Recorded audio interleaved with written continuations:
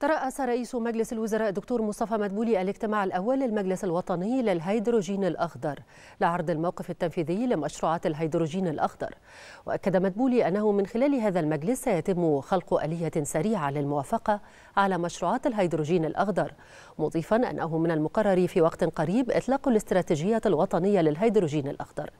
كما وجه رئيس الوزراء بتشكيل لجنة تنفيذية لتلقي طلبات واستصدار الموافقات المطلوبة.